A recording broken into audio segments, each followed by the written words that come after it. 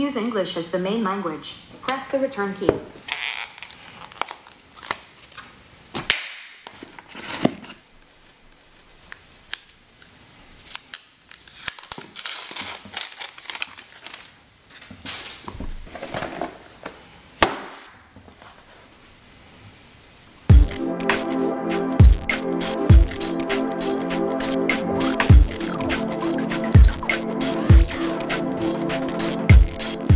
Guys, welcome to MD Prospect. For those of you who are new, my name is Jimmy. I'm a senior medical student here in Canada.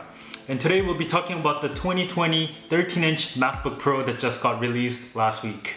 If you're not that geeky about computers and tech specifications, let me break it down to you simply from a student's perspective and explain how the new 13-inch MacBook Pro matches up against other Apple devices like the 2020 MacBook Air and the iPad Pro with the Magic Keyboard. Here are the list of things I will talk about in this video with the timestamps, but first let me give you my perspective on MacBook Pros in general. I think the 13-inch MacBook Pros combine together the friendly user interface, the portability, and performance all together that you can't really find in any other brands or any other Apple devices for that matter. So when you're choosing either the 2020 MacBook Air or the 16-inch MacBook Pro, the more powerful one, you're making a sacrifice in either performance or portability. And for me personally, as a student who's doing a lot of creative work like video editing, photo editing, this 13-inch MacBook Pro hits that perfect sweet spot. So let's take a look at the 2020 MacBook Pro and see how it's different from the previous models. The brand new 2020 MacBook Pro 13-inch model can basically be divided into two different versions. So you got the more powerful, expensive one with the 2 gigahertz quad-core 10th generation Core i5 processor with 16 gigabytes of RAM, double the storage at 512 gigabytes, and four Thunderbolt ports as opposed to two. Then you got the cheaper baseline model, which is essentially the same laptop as the 2019 model, but with the integration of the Magic Keyboard as opposed to the Butterfly keyboard.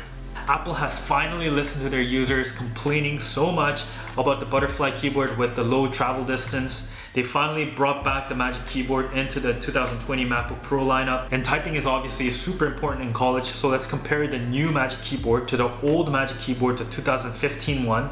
There's really no point in comparing the Butterfly to the Magic Keyboard because the Butterfly will perform so poorly.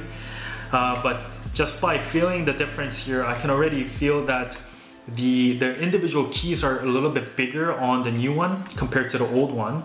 I can say that the original Magic Keyboard has great travel distance, but compared to like a mechanical keyboard, obviously it doesn't have that much of an advantage or something like a ThinkPad. But I was still able to use the original Magic Keyboard very well in college and type fast with it. So let's see how this one does. So this is the new Magic Keyboard.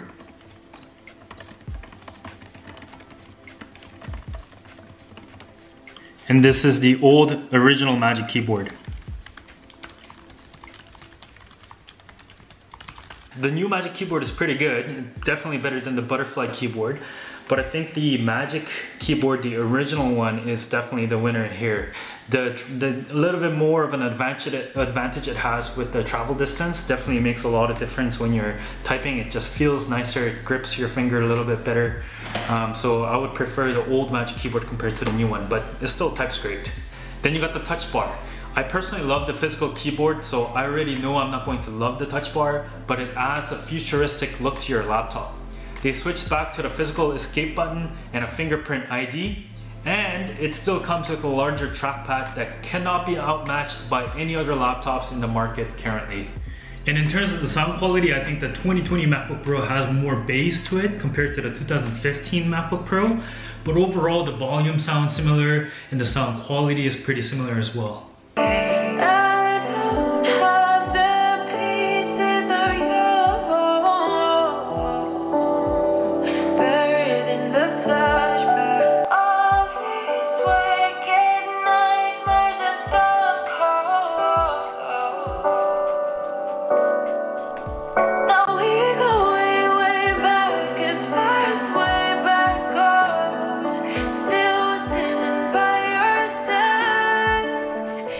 You got the great build quality and design that Apple is known for, and with the intuitive user interface of macOS and increasing integration with other Apple products, other fantastic PC products like the Dell XPS series that just came out and the Microsoft Surface or the Samsung Galaxy Book.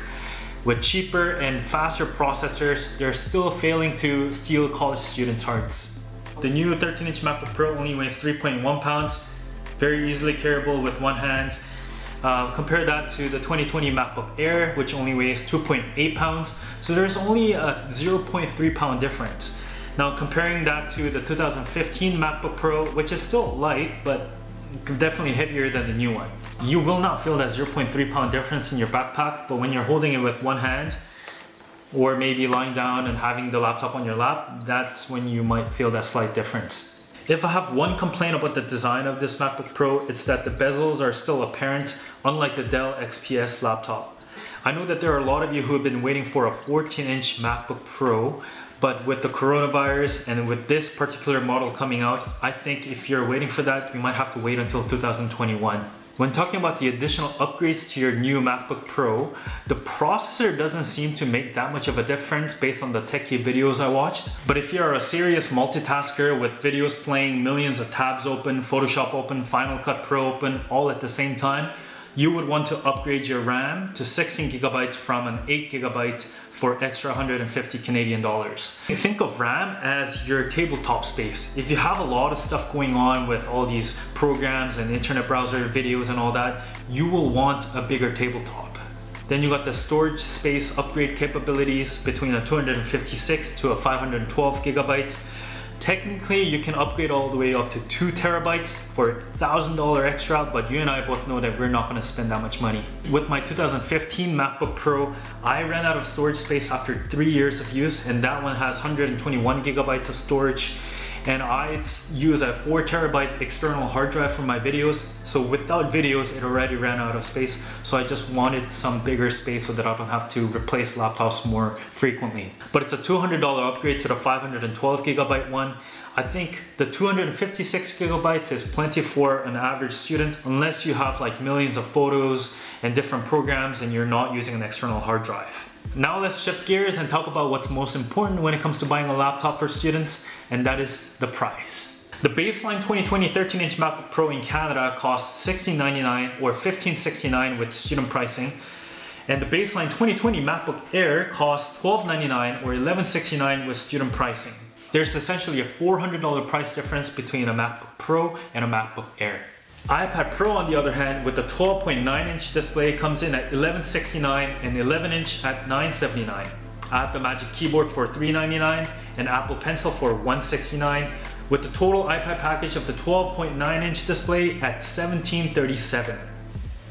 Guys, I think spending $1,700 on the iPad Pro package as opposed to the $1,500 MacBook Pro because you think laptops can be replaced by iPads, I think you're making a big mistake here. There's a high chance that you're going to need a laptop as opposed to just an iPad because the iOS operating system is just not compatible for college compared to the macOS operating system.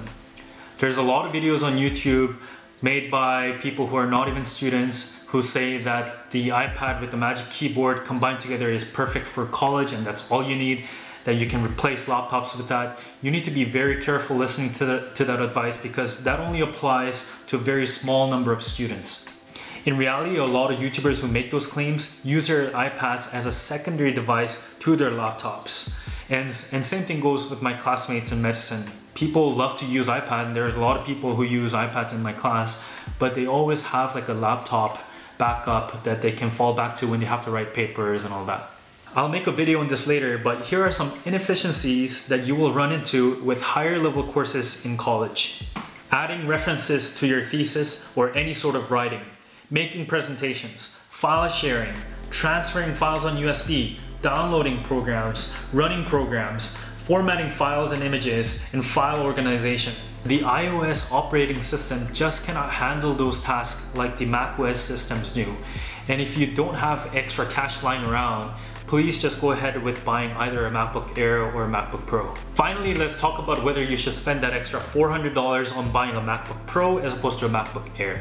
I would say that for most of you who are entering college or who are in college, the MacBook Air 2020 model is a fantastic choice for just getting schoolwork done, for watching videos, for web browsing, for listening to music and all that.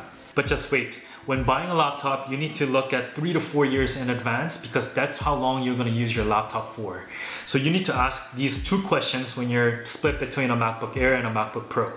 First, do I have any tinkering creativity that I may do any sort of creative work in the next three to four years? Like using Photoshop to edit photos, or using Final Cut Pro to edit videos, or Adobe Premiere or Lightroom. And second, is $400 spread over four years, so $100 per year, worth the money for you to buy a laptop that is faster, cooler, quieter, and a little bit brighter? If you answered no to both questions, you should get the 2020 MacBook Air. If you answered yes to any of those two questions, you should get the MacBook Pro.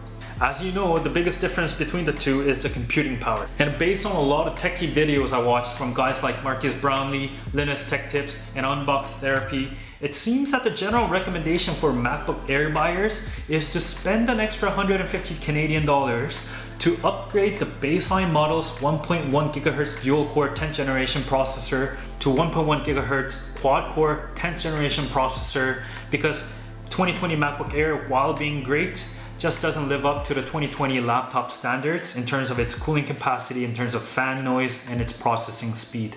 The brightness difference of 400 nits for a MacBook Air and 500 nits for a MacBook Pro doesn't really make that much of a difference unless you're outside on a sunny day. So if you're going to spend an extra $150 to upgrade the MacBook Air from the baseline model, the price difference between the MacBook Air and a MacBook Pro comes down to $250. And at that point, I would say just spend that extra $250 and get the MacBook Pro.